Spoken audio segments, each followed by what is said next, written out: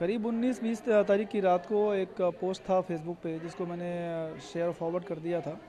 और पोस्ट में कुछ जो सी ए कानून लागू हुआ है, उसके बारे में उद्धव ठाकरे का जो कमेंट था मुख्यमंत्री महाराष्ट्र का जो कमेंट था कि जो है जलिया वाला बाग से तो उस बारे में कुछ कमेंट था। थोड़े वर्डिंग्स उसमें गाली गलौज नहीं थे, थोड़ी वर्डिंग ये थी कि आ गए औकात पे सिर्फ़ ये वर्ड था। कल सुबह अचानक जो है, मैं करीब साढ़े बारह बजे, मैं और छोटे बहनोई मेरे तो हम दोनों जन घर पे थे तो अचानक एक बंदा आया बोलता है कि आपको कुछ लोग नीचे बुला रहे हैं आप आइए। तो मैं जैसे नीचे उतरा तो करीब वहाँ पे आठ से सॉरी दस से बीस लोग थे वहाँ पे। तो वो दो शाखा जो शिवसेना शाखा थी दो शाखा के अध्यक्ष वहाँ पे थे। तो मुझे लगा कि ठीक है जो बात होगी हम बात करके उसे ख़त्म कर देंगे क्योंकि मैंने मैंने डिलीट मारी दिया उस चीज़ को।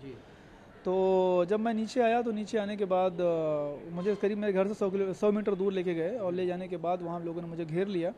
और मुझे मारना चाहा। मेरे बहनोई हैं जिन्होंने छुड़ाने की कोशिश की लेकिन क्योंकि लोग बीस पच्चीस लोग थे तो मुझे भी लगा कि अगर मैं यहाँ पे हाथापाई करता तो मैं मेरा नुकसान ज़्यादा होगा फ़िज़िकल डैमेज मेरा ज़्यादा होगा इसलिए मैं शांत रहा। उन्होंने उन्होंने जो जो किया मैं करने दिया। चलो ठीक है मान लेते हैं कि प्रताड़ना देते एक दो थप्पड़ मारते तो भी मैं बर्दाश्त कर लेता क्योंकि क्योंकि वैसे भी ये कानून को हाथ में लेने जैसा था। लेकिन फिर भी उन्होंने मेरा बाल सर का बाल निकाल दिया।